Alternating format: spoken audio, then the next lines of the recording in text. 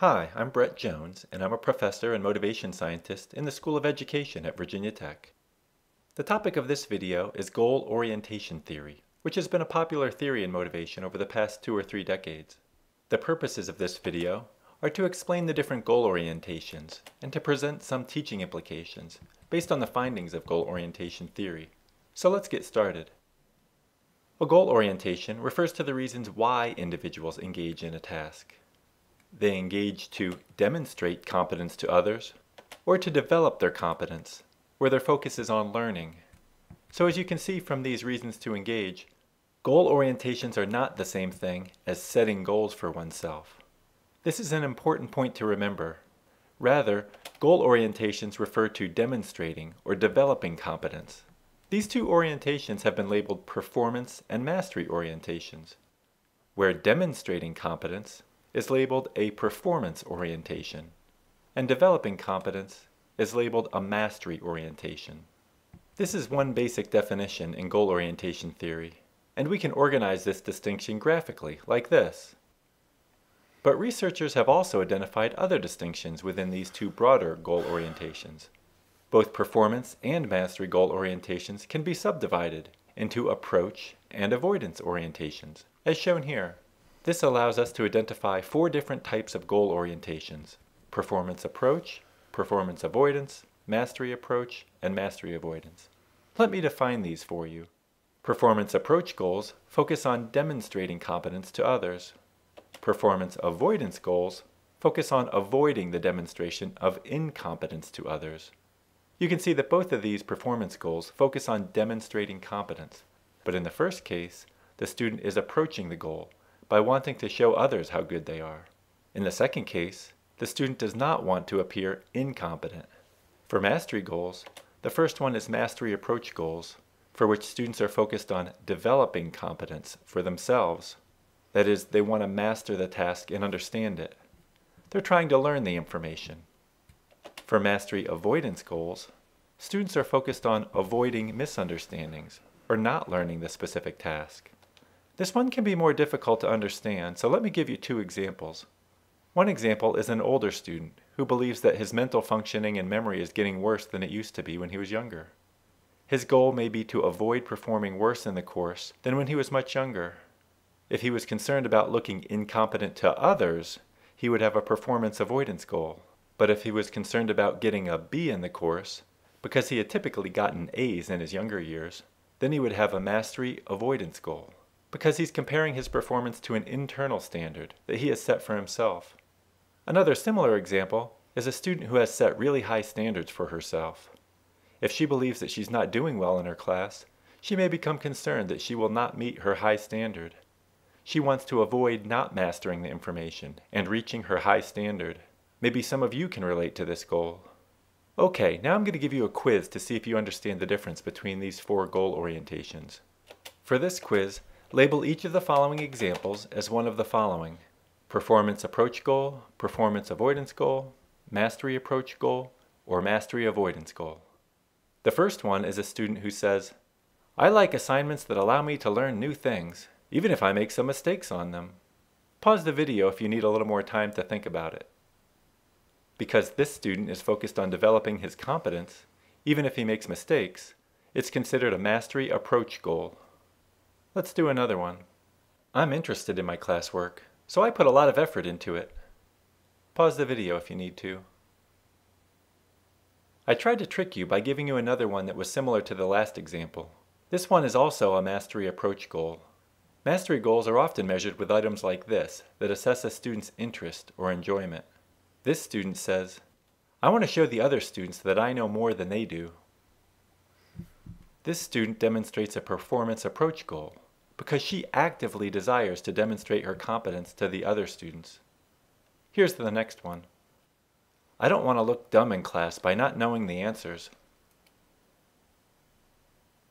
This one is a performance avoidance goal because he's concerned about how others will perceive his competence, and he doesn't want to seem incompetent to them. This student says, it's important that I do my homework so that I don't embarrass myself in class tomorrow. This one is similar to the last one because the student is concerned about what others think and she wants to avoid looking incompetent, which would embarrass her. Let's do another one. I really want to understand the concepts in algebra this year. This student is demonstrating a mastery approach goal because he's focusing on developing his competence. This student says, I'm worried that I might not be able to remember everything that I want to learn in this class. This is an example of a mastery avoidance goal. It's a mastery goal because the student is focused on her own standards and not focusing on trying to demonstrate her competence to others. It's an avoidance goal because the focus is on what she might not be able to remember, as opposed to saying that she wants to learn as much as she can in the class.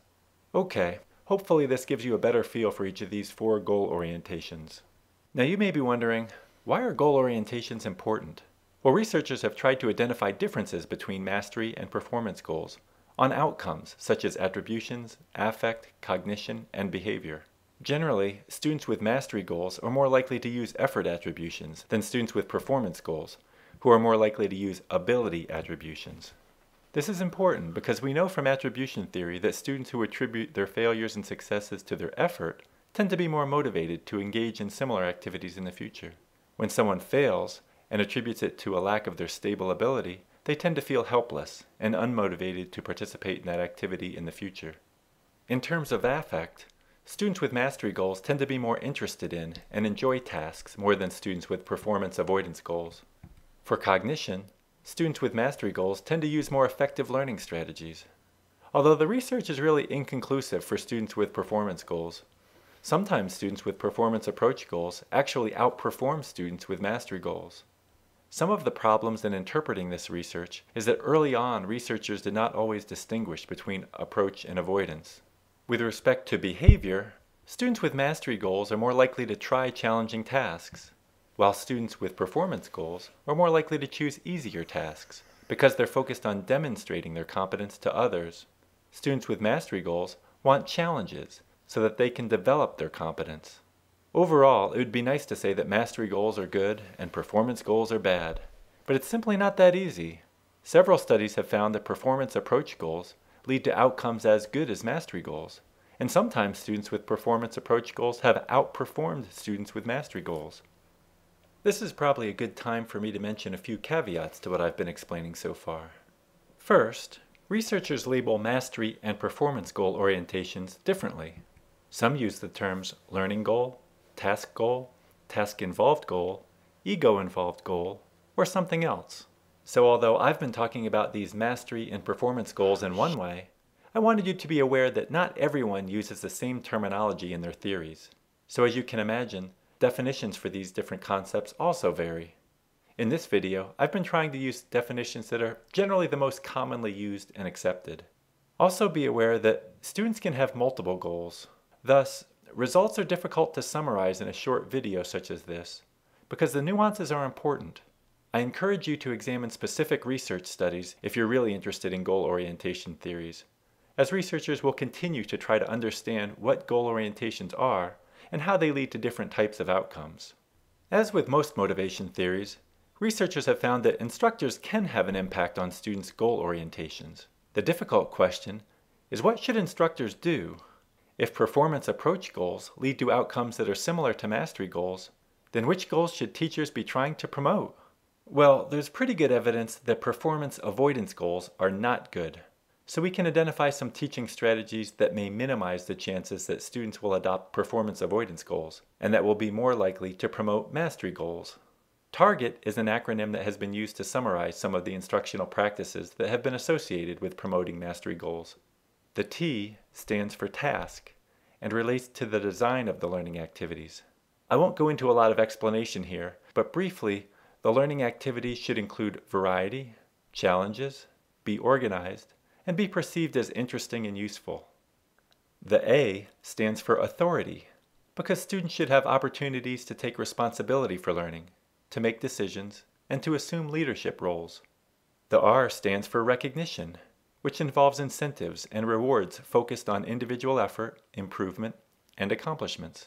The G is for grouping, which indicates that teachers should use heterogeneous grouping structures that promote peer collaboration and cooperation. The E is for evaluation, because teachers should implement evaluation systems that are varied, private, and assess individual progress, improvement, and mastery. The final T stands for timing, which indicates that students should have the opportunity to plan schedules and complete assignments at the appropriate and optimal rate. Now let's examine how these instructional practices that can promote a mastery goal orientation can fit into a model of motivation based on many other theories as well. The music model of academic motivation provides key motivation principles for instructors to consider when designing instruction. This model is based on an analysis of many motivational theories. A more complete explanation of the music model is provided elsewhere, such as in Jones 2009 and at the motivatingstudents.info website. However, it's helpful for instructors to consider how this model relates to the instructional strategies that can promote a mastery goal orientation. The music model states that instructors need to ensure that students believe that they have some control over some aspect of their learning, understand why the content is useful, believe that they can succeed if they put forth the effort, are interested in what they're supposed to be learning, and believe that the instructor cares about whether they meet the course objectives. These five key principles can be remembered by using the acronym MUSIC.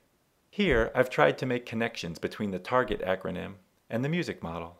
As you can see, authority and time are most directly related to empowerment. The task includes elements of usefulness. Success perceptions are important when considering the task, recognition, evaluation, and time. It's also important that the task is interesting, and the grouping is most directly related to caring. I want to warn you that this is not intended to be a complete analysis of these ideas. I've simplified them here. But even so, it's clear that the ideas represented by Target are consistent with the teaching strategies that have been identified as fostering motivation in other motivation theories. So by using these types of strategies, teachers are also implementing effective strategies that can foster students' motivation. Because goal orientation theory is focused on developing or demonstrating competence, ensuring that students succeed when they try hard is a very important way to motivate them, which is evident by the fact that several of the items in the target acronym are very directly related to the success component of the music model. I hope that this video was helpful to you. I've provided the citations for my references here. I have links to other information and videos on my website at www www.motivatingstudents.info. Feel free to contact me by email at brettjones at vt.edu.